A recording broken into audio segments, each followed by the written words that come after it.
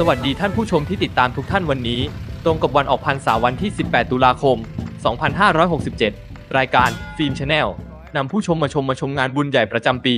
ในบรรยากาศของชาวพุทธ ร่วมกันชักพระ ช่วยกันทำบุญ ขบวนยาวสวยงาม ด้วยการลงทุนลงแรงตกแต่งรถขบวน สวยงามวันนี้ ที่ถนนละไม้อุทิศ มีผู้คน ชาวชุมชนมาร่วมทำบุญ คอยขบวนชักพระผ่านหน้าบ้าน กันหนาแน่น ลูกเด็กเล็กแดง ตื่นเต้นตระการตา ด้วยขบวนสวยงาม บนรถขบวนจะมีพระภิกษุสงฆ์คอยรดน้ำพระพุทธมนต์ให้กับผู้ที่ร่วมทำบุญในครั้งนี้ด้วย ส่วนหลังรถมีการประโคมกรองของเด็กๆ เยาวชน อย่างสนุกสนาน ขบวนที่ปรากฏนี้จะไปรวมตัวกันที่บริเวณจัดงาน วงเวียนนกกลางเมืองนราธิวาสปีนี้เทศบาลเมืองนราธิวาสเป็นเจ้าภาพ ร่วมกับจังหวัดนราธิวาสและวัฒนธรรม สนับสนุนการจัดงานเพื่ออนุรักษ์วัฒนธรรมประเพณี อันดีงามของชาวพุทธที่สำคัญในปีนี้ ชาวชุมชนร่วมออกมา แห่ขบวนฟ้อนรำ มีความสุขสวยงามในขบวน ที่ประดับตกแต่งด้วยธรรมชาติ รอบข้างของรถขบวน จะมีข้าวต้มสามเหลี่ยมแขวนไว้เป็นการอนุรักษ์ประเพณีไทย ตั้งแต่ดั้งเดิมในวันออกพรรษางานชักพระ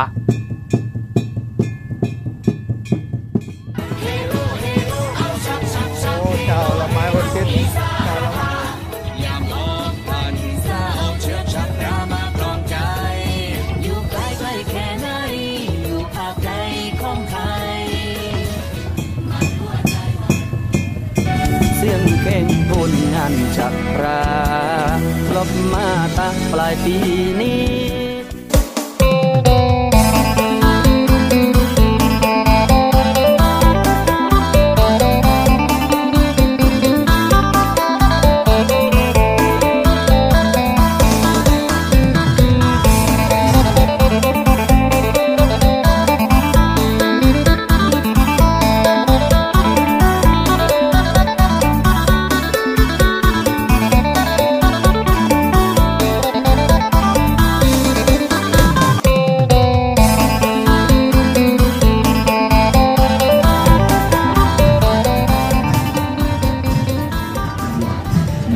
ที่เราได้เห็นอยู่ในขณะนี้นะครับก็ไม่มีการปรับเปลี่ยนจังหวะนะครับก็ถือว่าเป็นการออกกำลังกายเงินตัวตันเต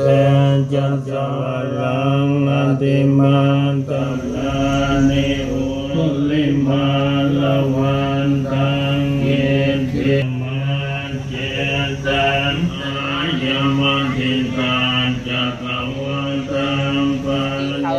วันนี้ก็คือบรรยากาศของงานชักพระจังหวัดนราธิวาสนะครับ ซึ่งปีนี้เป็นมีเรือพระ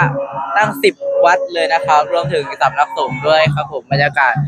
แต่ละวัดมาจัดเต็มมากๆเลยใช่ครับผค่ะ ม มาสวยงามมากเลยค่ะอลังการมากเลยนค่ะราธิวาสของเรานะครับก็เป็นเมืองพหุวัฒนธรรมครับผม ก็มีทางศาสนาพุทธที่มีที่มีงานประเพณี แล้วก็มีประเพณีต่างๆ ให้น่าสนใจเรามาเที่ยวนราธิวาสดูครับชวนทุกท่านนะครับ มาเที่ยวงานชักพระจังหวัดนราธิวาสได้ครับ ปีหน้าอาจจะยิ่งใหญ่ขึ้นครับลองมาเที่ยวกันดูครับผมสวัสดีครับ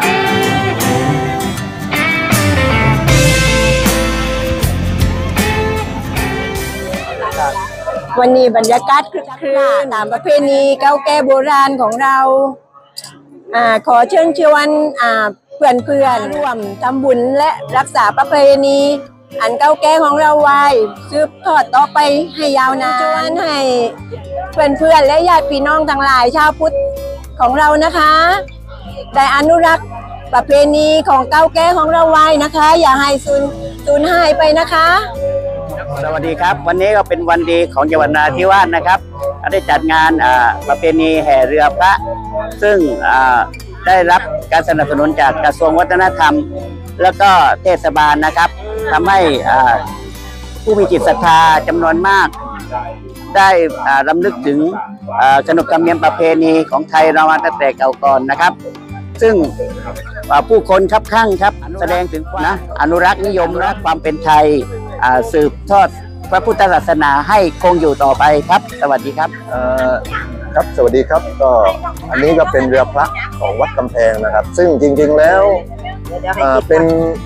ชาวบ้านเขาร่วมใจกันเขาก็อยู่กันแล้วก็ทำอ่า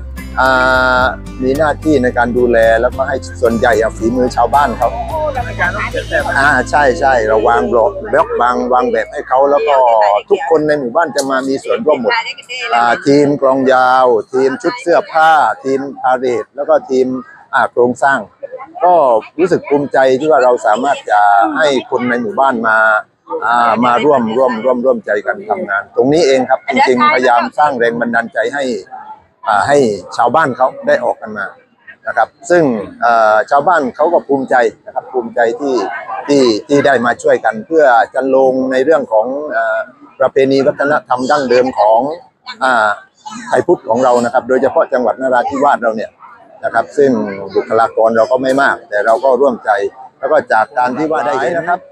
มาร่วมวันนี้ผมก็รู้สึกว่าดีใจแทนดีใจแทนชาวบ้านของพวกเรานะครับก็ วันนี้ดีด้วยฝนไม่ตกนะครับ ก็ขอขอบคุณนะครับประชาชนทุกคนในจังหวัดนราธิวาสที่ได้มาร่วมร่วมใจกันนะครับ สืบสารประเพณีที่ดีงามของเราปีนี้รู้สึกว่าปีนี้อ่ามีมีมีประชาชนมาร่วมเยอะ ทีนี้ในเรื่องของการประชาสัมพันธ์ ประชาสัมพันธ์งานต่างๆ มีมามามีส่วนร่วมนะครับ โดยเฉพาะหน่วยงานราชการจะเป็นในเรื่องของทุนทรัพย์ก็ดี หรือว่าการบุคลากรก็ดีนะครับมาช่วยกันนะครับ ก็ รู้สึกว่าดีใจปีนี้ดีใจนะครับ ดีใจมากที่ว่ารู้สึกว่าคึกคักนะครับ หวังว่าปีหน้าคงจะคึกคักกว่านี้ ใช่แล้วก็ขอบคุณทางเทศบาลนะเพราะว่าปีนี้รู้สึกว่าทางเทศบาลก็ในส่วนของเงินรางวัลก็เพิ่มให้ขึ้นหน่อยหนึงคุณทุก ๆ หน่วยงานนะครับภาคส่วนนะครับที่ที่ให้ความร่วมมือในการจัดกิจกรรมครั้งนี้ครับครับขอบคุณมากครับอ่าขอบคุณ นี่สัญลักษณ์ของการครับครับลงทุนลงทุนเอารถไถออกเลย เอารถไถออกเลยวันนี้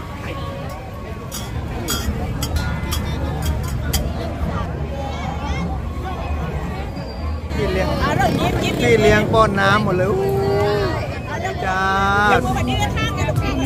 อ่าโอ้สวยสวยชื่อน้องอะไรคะน้องอะไรคะ น้องอะไรลูก ดังๆ น้องอะไรลูก น้องอะไรนะ น้องเพชรให้น้องอะไรลูก ดังๆ ลูก